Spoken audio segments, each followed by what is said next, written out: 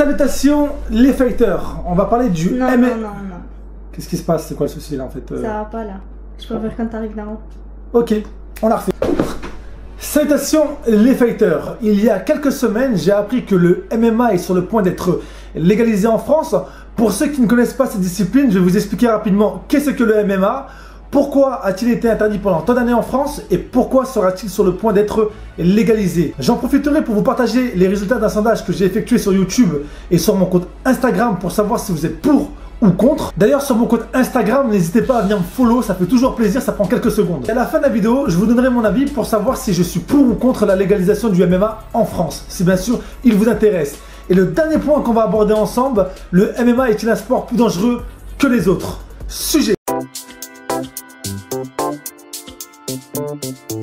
Rapidement, pour ceux qui ne connaissent pas le MMA, plus précisément le mix martial art appelé free fight dans les années 90, c'est un sport de combat qui regroupe plusieurs disciplines où on peut frapper avec les poings, les pieds, les genoux, les coudes comme en boxe thaïlandaise ou encore les saisies comme en boxe sanda et en lutte et le travail au sol comme au jiu-jitsu. Les combats ont lieu dans un octogone où on peut gagner par KO, arrêt de l'arbitre et par soumission. Fait important, les frappes sont autorisées au sol. La finalité vise à déterminer le meilleur combattant de l'arène, toutes disciplines confondues. Si cette discipline porte une sale étiquette, c'est parce qu'elle est née sous une forme assez violente. Pour que chaque participant puisse avoir les mêmes chances de vaincre, il n'y avait pas de règles, voire pas du tout, et ne parlons même pas du poids pour ceux qui cherchent des excuses. En clair, les athlètes pouvaient rencontrer n'importe quel combattant. Mais les choses ont évolué au fil des années, fort heureusement. Afin de changer l'image des combats violents et de faire apprécier ce sport auprès des téléspectateurs, l'UFC va instaurer des règles strictes 52 au total, avec comme ligne de conduite la sécurité des combattants. Le MMA étant autorisé dans nombreux pays en Europe,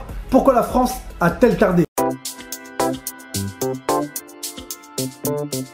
Si les organisateurs du MMA estiment que le grillage autour du ring vise à assurer la sécurité des combattants, les autorités françaises ne l'entendent pas de la même manière en trouvant ce symbole dégradant. Malheureusement, la cage n'est pas le seul point noir qui dérange les autorités françaises. C'est la première raison qui justifie donc la réticence, ou mieux l'interdiction formelle de cette discipline qui déchaîne tant d'amateurs. En effet, selon elle, le mix martial art choque par son caractère violent et impitoyable. On cause une règle qui autorise les assaillants à donner des coups de poing et des coups de pied alors que l'adversaire est encore au sol. C'est en application d'une ancienne recommandation européenne qui relève les pratiques sportives dégradantes que la loi française interdit les frappes au sol. Ce qui est un peu bizarre, c'est que l'État français nous autorise à regarder ces combats sur des chaînes câblées, mais que les compétitions ne sont pas autorisées sur le sol de l'Hexagone. Selon les amateurs et les pratiquants de MMA en France, ça serait la loi française qui empêcherait la démocratisation du MMA en France au travers la mise en place des compétitions. En clair, les coups au sol sont une atteinte à la dignité humaine selon l'État français.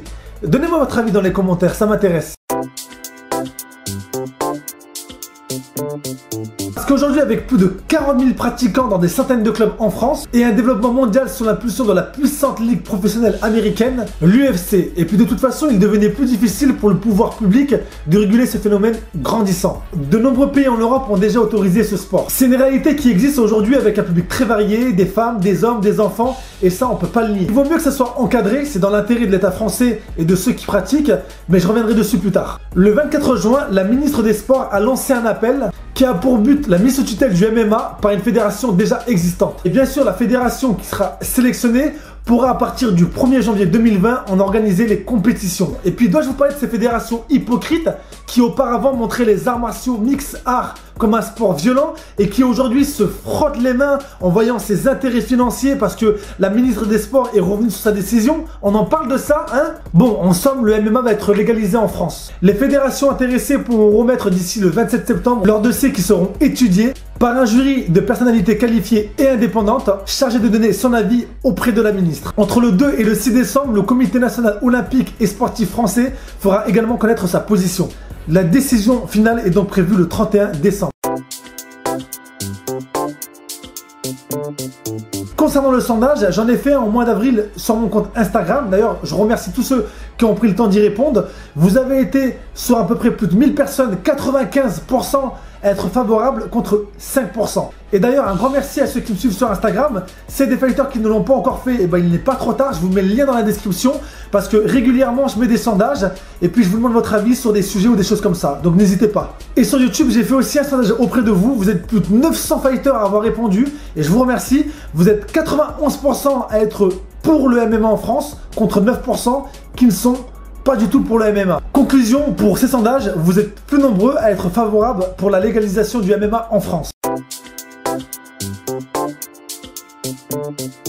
Bien évidemment, le MMA n'est pas un sport sans danger, comme d'autres sports. On peut retrouver des risques de blessures. Au tennis, on peut se faire des claquages. Au ski, on peut se briser un os. Ou encore une simple contusion comme au rugby ou dans d'autres sports. Si on prend l'exemple de la boxe anglaise, le boxeur, lui, encaisse plus de coups à la tête, contrairement au combattant de MMA qui, lui, peut se mettre dans la cage. Récemment, j'ai fait un sujet sur un boxeur qui est décédé suite à une hémorragie cérébrale.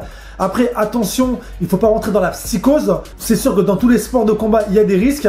Mais après, pour minimiser ça, bah, il faut se protéger au maximum. Il faut être prudent. Et puis, il faut pas oublier que lors de compétitions, il y a des arbitres qui sont prêts à intervenir. Et on ne le voit pas forcément quand il y a des combats, mais tout autour, il y a des médecins qui sont aussi prêts à intervenir s'il y a la moindre petite anomalie et à secourir le boxeur si voilà, il y a un souci. Au judo, par exemple, il y a un grand nombre de blessures graves, que ce soit en compétition ou hors compétition. Des fractures qui peuvent affecter la clavicule, les coudes, les poignets, les genoux, les chevilles, même les orteils. Il y a même aussi parfois des traumatismes au niveau des coups. C'est sûr qu'à force de tomber au sol avec les vibrations, bah forcément ça fait pas du bien aux os. On en entend un peu moins parler, mais c'est une réalité. Et c'est une des raisons pour laquelle de nombreux judokas arrêtent cette discipline arrivée à un certain âge. Et là, ça ne choque personne parce que les blessures sont internes, elles ne se voient pas.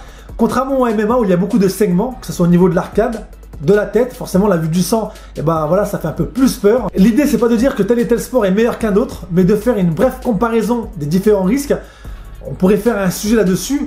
Vous laissez-moi votre avis aussi dans les commentaires et dites-moi le sport de combat que vous trouvez le plus dangereux. Ce qu'il ne faut pas oublier, c'est que les combattants de MMA sont préparés mentalement. Ils ont toute une équipe qui gravite autour d'eux, c'est-à-dire des préparateurs physiques, des nutritionnistes, une équipe médicale, des psychologues et j'en passe. Le jour du combat, ils sont plus que prêts. Concrètement, je suis pour la légalisation du MMA en France pour la simple et bonne raison, si un jour ça peut éviter qu'il y ait un grave accident ou même un mort, eh ben oui, je suis pour le MMA en France. Qu'elle puisse être entre les mains d'une fédération sérieuse qui va instaurer des règles strictes et éviter tous ces pseudo-combats clandestins qu'on voit fleurir sur YouTube. Et si les fighters, je vous disais qu'à partir du 2 septembre, je vais ouvrir une école de MMA la Morel Team à Perpignan. Et bien entendu, je vais m'entourer aussi de grands champions comme la team Esberry. Je vous dis pas tout, hein, il y aura d'autres champions. Fouette va venir à Perpignan donner un stage. Ça arrive très prochainement. Je vous mets le lien de mon école dans la description. Fighters, on arrive déjà à la fin de cette vidéo. Si elle vous a plu, n'hésitez pas à me le faire savoir en me mettant un pouce bleu pour me soutenir. Laissez-moi aussi un commentaire parce que votre avis m'intéresse sur le sujet. Et si c'est pas encore fait, abonnez-vous à ma chaîne. C'était Fight. À bientôt les fighters.